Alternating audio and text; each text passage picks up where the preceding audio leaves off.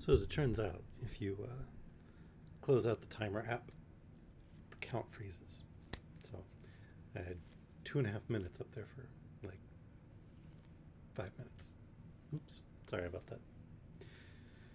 In any case, I'm back, and uh, today we're going to be reading a little bit more of the Merry Adventures of Robin Hood.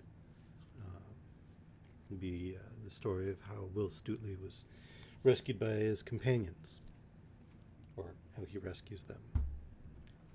So I better double check that. Ah, yes, he's rescued by his companions.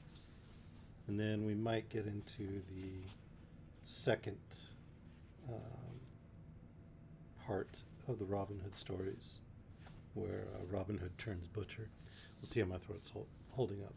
It's finally starting to heal from the uh, biopsies and whatnot.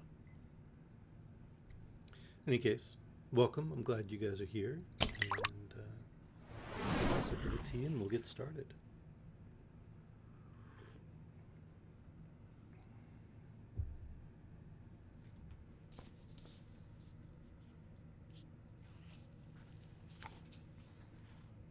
If you recall last time, um, they had the competition in uh, Nottingham where Robin attended in disguise and won the golden arrow from the sheriff. And uh, Little John and some friends sent a message to the sheriff through the open window of his hall, thanking him for uh, the prize. Chapter 3 Will Stutely rescued by his good companions. Now, when the sheriff found that neither law nor guile could overcome Robin Hood, he was much perplexed, and said to himself, Fool that I am! Had I not told our king of Robin Hood, I would not have gotten myself into such a coil. But now I must either take him captive, or have wrath visited upon my head from his most gracious majesty.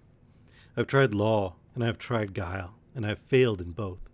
So I will try what may be done with might. Thus communing with himself, he called his constables together and told them what was in his mind. Now take ye each four men, all armed and proof, said he, and get ye gone to the forest at different points, and lay in wait for this same Robin Hood.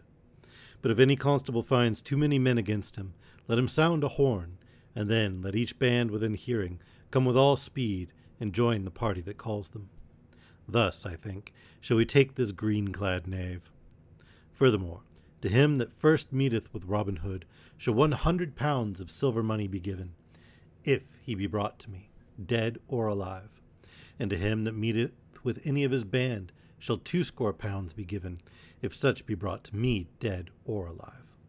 So be ye bold and be ye crafty. So thus they went in threescore companies of five to Sherwood Forest to take Robin Hood, each constable wishing that he might be the one to find the bold outlaw, or at least one of his band. For seven days and nights they hunted through the forest glades, but never saw so much as a single man in Lincoln Green. For tidings of all this had been brought to Robin Hood by trusty Adam of the Blue Boar. When he first heard the news, Robin said, If the sheriff dare send force to meet force, woe will it be for him, and many a better man beside, for blood will flow, and there will be great trouble for all. But fain would I shun blood in battle, and fain would I not deal sorrow to womenfolk and wives because good stout yeomen lost their lives. Once I slew a man, and never do I wish to slay a man again, for it is bitter for the soul to think thereon. So now we will abide silently in Sherwood Forest, so that it may be well for all. But should we be forced to defend ourselves, or any of our band, then let each man draw bow and brand with might and main. At this speech, many of the band shook their heads and said to themselves, Now the sheriff will think that we are cowards, and folk will scoff throughout the countryside, saying that we fear to meet these men. But they said nothing aloud, swallowing their words and doing as Robin bade them.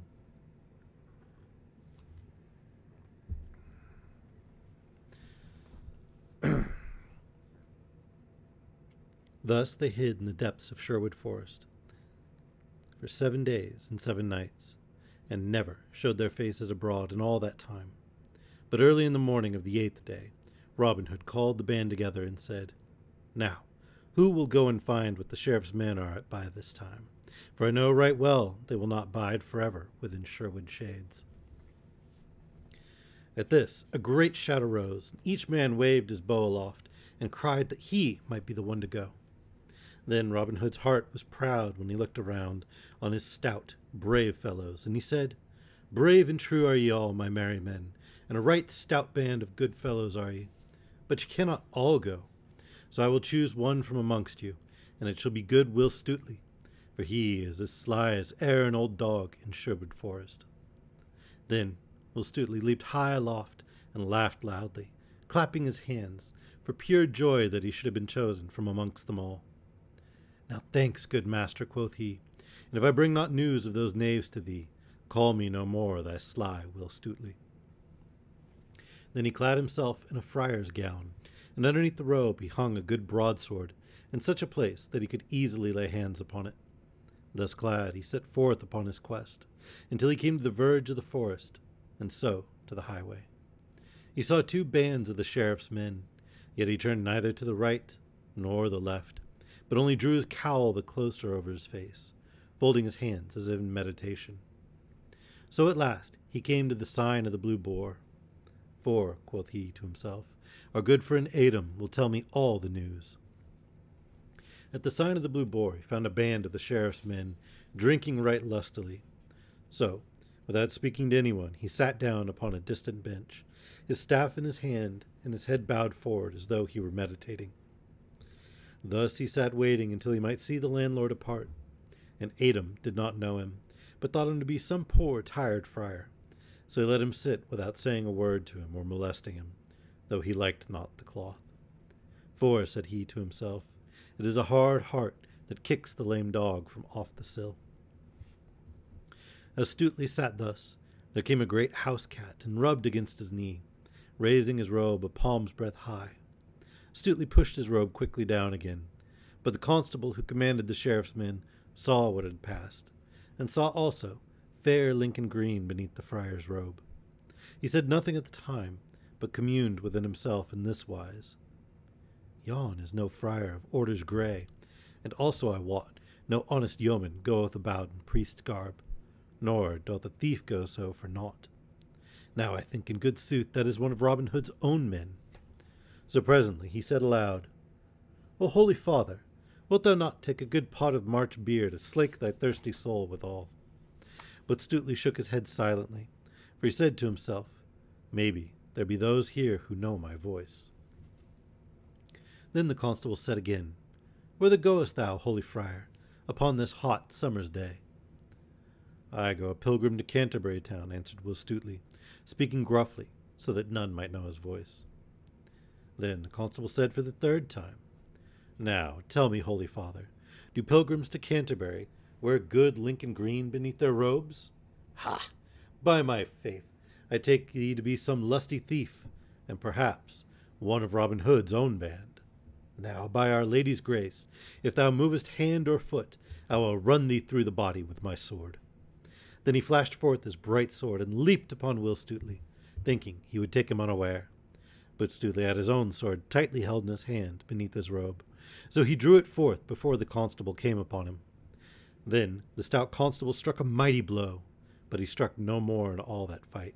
For Stutely, parrying the blow right deftly, smote the constable back again with all his might. Then he would have escaped, but could not, for the other, all dizzy with the wound and with the flowing blood, seized him by the knees with his arms, even as he reeled and fell. Then the others rushed upon him, and Stutely struck again at another of the sheriff's men. But the steel cap glanced the blow, and though the blade bit deep, it did not kill. Meanwhile, the constable, fainting as he was, drew Stutely downward, and the others, seeing the yeoman hampered so, rushed upon him again, and one smote him a blow upon the crown, so that the blood ran down his face and blinded him. Then staggering, he fell, and all sprang upon him, though he struggled so manfully that they could hardly hold him fast. Then they bound him with stout hempen cords, so that he could not move either hand or foot, and thus they overcame him. But it was a doleful day's doings for two of that band, for the constable was sorely wounded, and the other, that stoutly smote upon the crown, lay sick for many a day ere he was the stout man that he had been before this famous fight. Robin Hood stood under the greenwood tree, thinking of Will Stutely and how he might be faring, when suddenly he saw two of his stout yeomen come running down the forest path, and betwixt them ran buxom Maken of the Blue Boar. Then Robin, Robin's heart fell, for he knew they were the bearers of ill tidings. Will Stutely has been taken, cried they, when they had come to where he stood. And is it thou that hast brought such doleful news? said Robin to the lass. Ay, marry, for I saw it all, cried she, panting, panting as the hare pants when it has escaped the hounds. And I fear he is wounded sore, for one smote him main shrewdly in the crown. They have bound him and taken him to the Nottingham town, and ere I left the Blue Boar, I heard that he should be hanged tomorrow day. He shall not be hanged tomorrow day, cried Robin. For if he be, full many a one shall gnaw the sod, and many shall have cause to cry alack a day. Then he clapped his horn to his lips, and blew three blasts right loudly. And presently his good yeomen came running through the greenwood, until seven score bold blades were gathered around him. Now hark you all, cried Robin. Our dear companion, Will Stutely, hath been taken by that vile sheriff's men, though doth it behoove us to take bow and brand in hand to bring him off again. For I wot that we ought to risk life and limb for him, as he has rit- risked life and limb for us. Is it not so, my merry men all? Then all cried, Aye, with a great voice. Now, quoth Robin again, if there be any here that care not to risk life and limb, let them bide within Sherwood shades, for I constrain no man to my will. But tomorrow I will bring Will Stutely back, or I will die with him. Then up spake stout John Little, or Little John. Thinkest thou, good master, he said, that there be one among us all that would not risk life and limb for fellow in trouble? If such there be, then do not I know every man in this company of stout yeomen? And moreover, if there be such, I wot he should be stripped and beaten from out our merry woodlands. Is it not so, good friends? Then all cried Aye again, for there was not one man amongst them all that would not venture everything for a friend in need. So the next day they all wended their way from Sherwood Forest, but by different paths, for it behooved them to be very crafty. So the band separated into parties of twos and threes, which were all to meet again in a tangled dell that lay near to Nottingham town. Then, when they had all gathered together at the place of meeting, Robin spoke to them thus Now we will lie here in ambush until we can get news, for it doth behoove us to be cunning and wary, if we would bring our friend, Will Stutely, off from the sheriff's clutches. So they lay hidden a long time, until the sun stood high in the sky. The day was warm, and the dusty road was bare of travelers, except an aged palmer who walked slowly along the high road that led close beside the grey castle wall of Nottingham town. When Robin saw that no other wayfarer was within sight, he called young David of Doncaster, who was a shrewd man for his years, and said to him, Now get thee forth, young David, and speak to yonder palmer that walks beside the town wall, for he hath come but now from Nottingham town, and may tell thee news of good Stutely, perchance.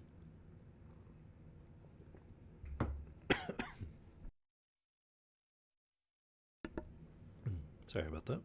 Throat got a little dry. So David strode forth, and when he came up to the pilgrim, he saluted him and said, Good morrow, holy father, and canst thou tell me when Will Stutely will be hanged upon the gallows tree? I fain would not miss the sight, for I have come from afar to see so sturdy a rogue hanged. Now, out upon thee, good man, cried the palmer, that thou shouldst speak so when a good stout man is to be hanged for nothing but guarding his own life and he struck his staff upon the ground in anger. Alas, say I, that this thing should be, for even this day, toward evening, when the sun falleth low, he shall be hanged, fourscore rods from the great town gate of Nottingham, where three roads meet. For there the sheriff sweareth he shall die as a warning to all outlaws in Nottinghamshire. But yet, I say again, alas, for though Robin Hood and his band may be outlaws, yet he taketh only from the rich and the strong, and the dishonest man, while there is not a poor widow, nor a peasant with many children nigh to Sherwood, but has barley flour enough all the year long through him. It grieves my heart to see one as gallant as this Stutely die, for I have been a good Saxon yeoman in my day, ere I turned palmer, and well I know a stout hand, and one that smiteth shrewdly at a cruel Norman or a proud abbot with fat money bags.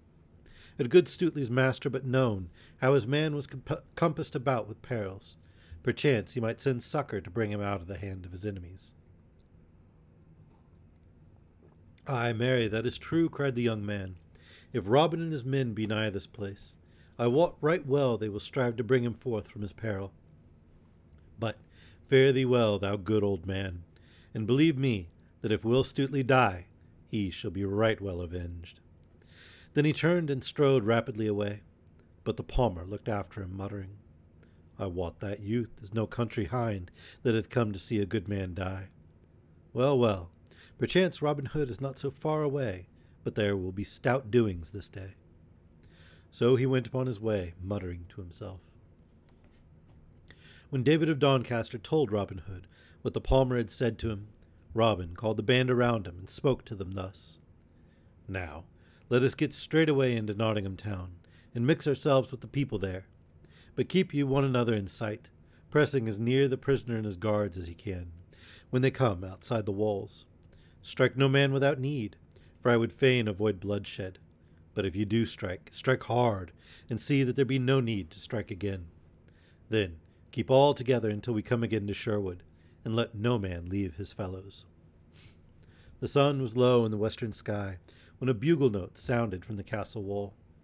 Then all was bustle in Nottingham town, and crowds filled the streets, for all knew that the famous Will Stutely was to be hanged that day.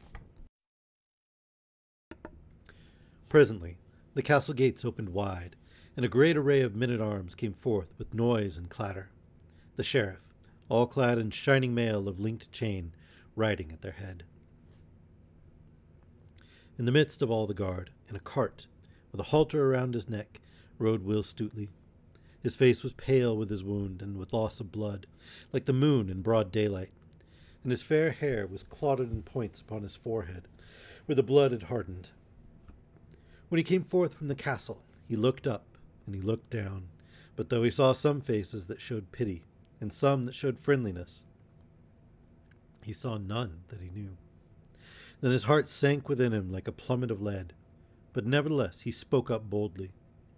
Give a sword into my hand, Sir Sheriff, said he, and wounded man though I be, I will fight thee and all thy men till life and strength be gone.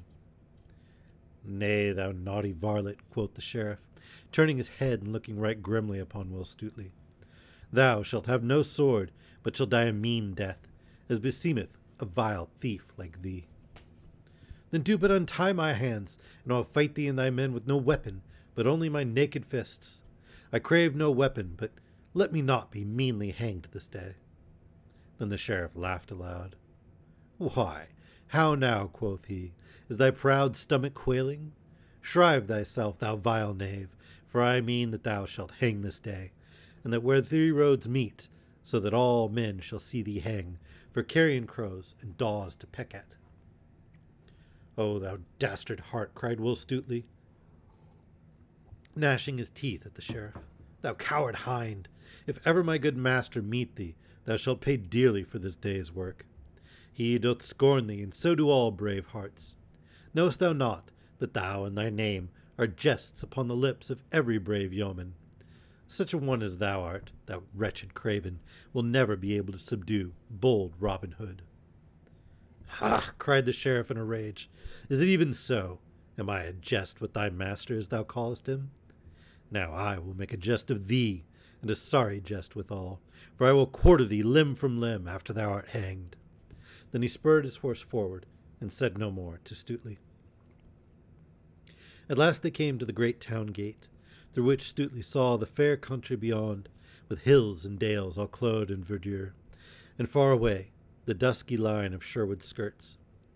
Then, when he saw the slanting sunlight lying on field and fallow, shining redly here and there on cot and farmhouse, and when he heard the sweet birds singing their vespers, and the sheep bleating upon the hillside, and beheld the swallows flying in the bright air, there came a great fullness to his heart, so that all things blurred to his sight through salt tears, and he bowed his head, lest the folk should think him unmanly when they saw the tears in his eyes.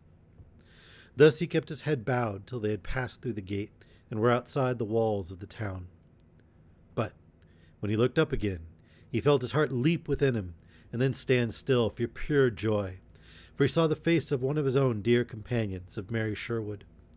Then glancing around quickly around, he saw well known faces upon all sides of him, crowding closely upon the men at arms who were, who were guarding him.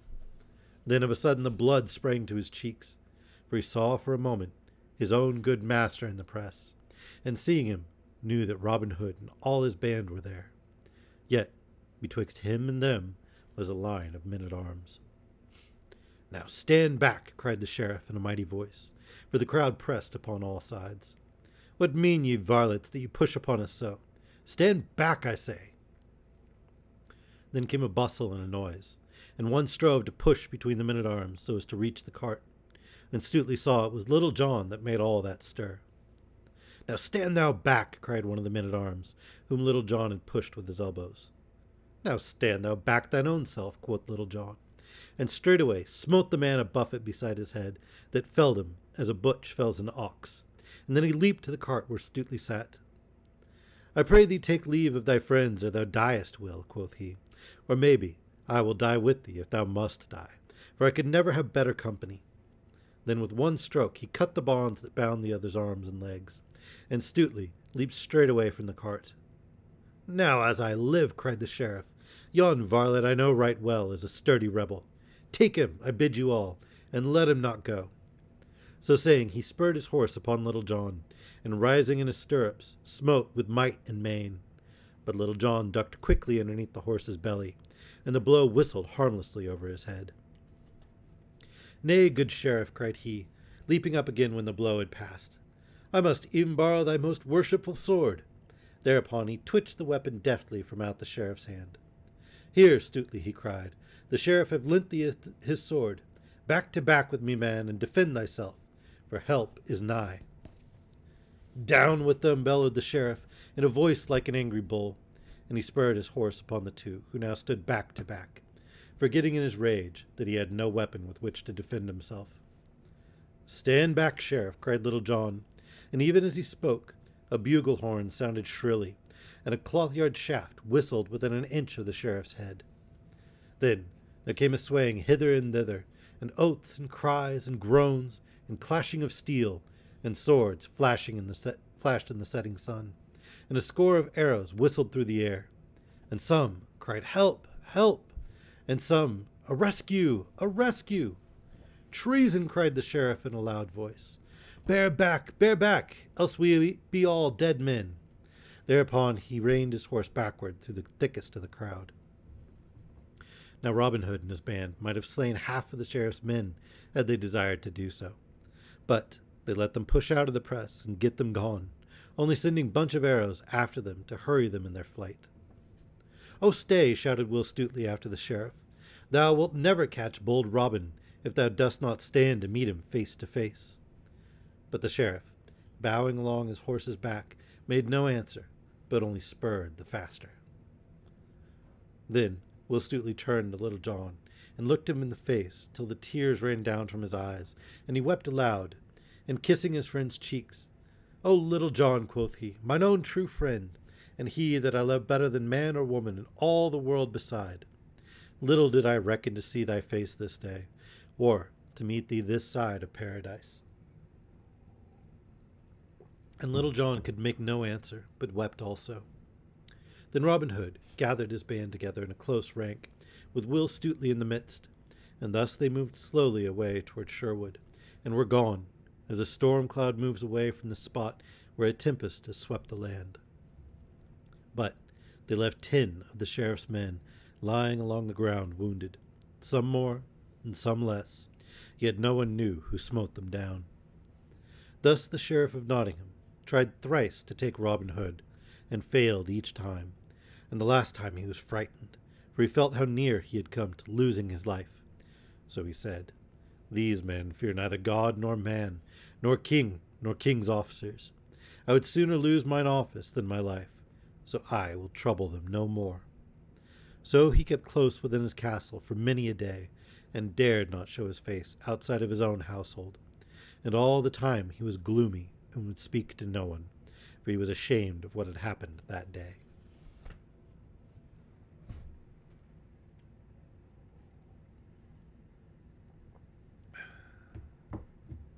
All right. then tomorrow we will pick up with uh, the second part of the book with Robin Hood turns butcher. So we'll be reading about the same time tomorrow. Thank you everybody for joining me. I know as I'm still kind of doing a short reading for now as I get back into the swing of things, but we will get longer. Um, my throat's just still not quite up to stuff after the biopsies and everything, which hopefully I'll be getting back soon. Hopefully everything's like negative. Fingers crossed. But thank you everybody for joining me. If you missed some of the earlier parts, they are available on Twitch as VODs and I upload them to YouTube. I also have the readings from the past on YouTube as well. And I've started organizing those into collections and doing stuff to make that a little bit easier. Thank you, everyone.